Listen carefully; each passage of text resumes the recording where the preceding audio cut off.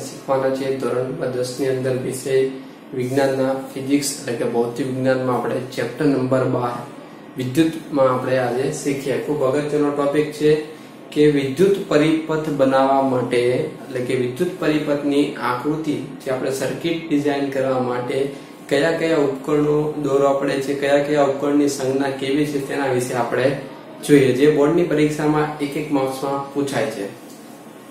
તો સૌ પ્રથમ પહેલા વિદ્યુત પરિપથમાં વપરાતા કેટલાક ઘટકોની સંજ્ઞા. એટલે એમાં આપણને પૂછે કે વિદ્યુત કોષ, તો વિદ્યુત કોષની સંજ્ઞા આ રીતે હોય છે, એક પ્લસ અને એક માઇનસ. એટલે કે ધન વીજભાર અને એક ધન હોય છે બીજું હોય છે ઋણ. બીજું છે બેટરી અથવા તો વિદ્યુત કોષનું સંયોજન. તો વિદ્યુત કોષ એક કરતા એટલે કે બેથી વધુ હોય, તો તે બેટરીમાં કન્વર્ટ થાય છે એટલે કે જે મોટો વિભાગ હોય છે તે પ્લસ હોય, નાનો તે કેવો છે? માઇનસ ત્રીજું છે પ્લગ કોપ એટલે કે સ્વિચ પણ કેવી? ખુલ્લી સ્વિચ પૂછે તો આ રીતે આપણે આકૃતિ દોરવાની છે.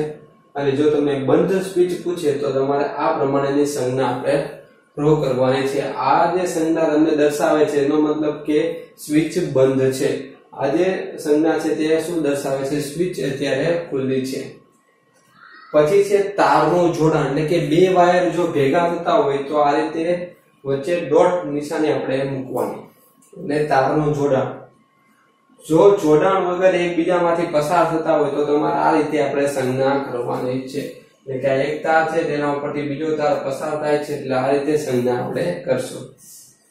સાતમું છે વિદ્યુત બલ્બ. એટલે આ પ્રમાણેની તમને સંજ્ઞા દેખાય તો તે છે વિદ્યુત બલ્બ દર્શાવશે. પછી છે આર અવરોધ ધરાવતો અવરોધક એટલે કે અવરોધની સંજ્ઞા આ પ્રમાણેની છે. તેને તે સિવાય બીજો અવરોધ તમને પૂછે કે ચલિત અવરોધ ચલિત અવરોધ પૂછે તો આર અવરોધની ઉપર આપણે આ રીતે એરો દર્શાવવાનો જે ચલિત અવરોધ છે અથવા તો રિયોસ્ટેટ તો અવરોધની ઉપર આ રીતે એરો એટલે કે તીરની નિશાન દર્શાવવાની જે આપણે રિયોસ્ટેટ અથવા ચલિત અવરોધની સંજ્ઞા દર્શાવે છે.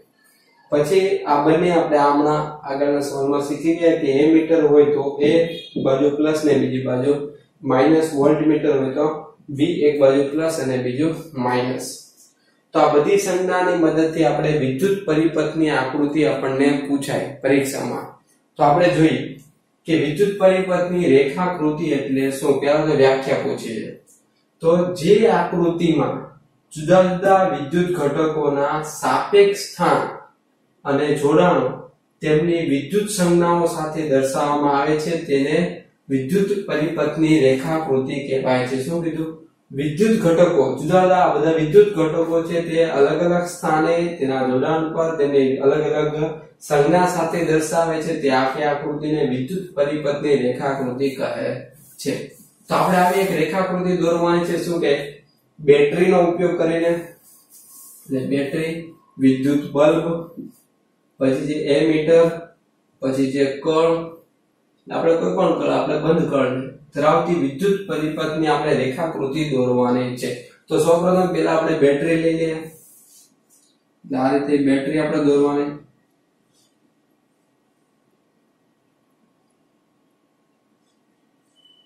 Plus, minus. બેટરી છે. બેટરી સિવાય બીજું શું છે? વિદ્યુત બલ્બ. પછી છે પ્લગ કળ અને એમીટર. એટલે આપણે બલ્બ દર્શાવશું અહીંયા.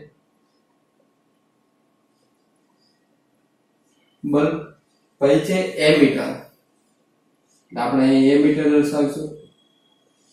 અને અહીં આપણે સ્વિચ પણ કેવી સ્વિચ છે? બંધ સ્વિચ છે. દર્શાવશું. હવે વિદ્યુત પ્રવાહનો માર્ગ આપણે દર્શાવવો પડે. તો વિદ્યુત પ્રવાહનો રેવાજી માર્ગ કયો છે? તો પ્લસથી માઇનસ.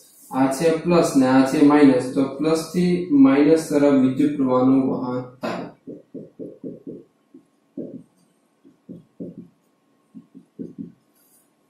આ રેવાજી પ્રવાહ છે.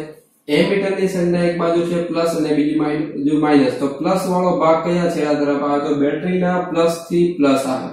અને માઇનસ વાળો ભાગ જે છે તે માઇનસથી માઇનસ બેટરીના સુધી આવે છે. માઇનસથી માઇનસ સુધી. આ છે કળ કે, આ છે બેટરી, આ છે બલ્બ, આ છે એમીટર, આ છે બલ્બ, આ છે બેટરી, આ છે કળ એટલે કે સ્વિચ. તો આ બધા ટોપિક તમારે યાદ રાખવાના છે. પરીક્ષામાં આપણને એક એક માર્ક્સમાં પૂછે, વિદ્યુત કોષની સંજ્ઞા ગમે તે પરીક્ષામાં ગમે તે ઘટકની સંજ્ઞા પૂછાય છે અને આ પ્રમાણેની આપણે રેખાકૃતિ પણ દોરવાની આવે છે. તો વિદ્યાર્થી મિત્રો, બીજા વીડિયો લેક્ચર માટે મારી યુટ્યુબ ચેનલ સબસ્ક્રાઇબ કરો, જેથી તમને વીડિયો લેક્ચર મળતા રહે અને તમારા ફ્રેન્ડ સર્કલમાં શેર કરો. Thank you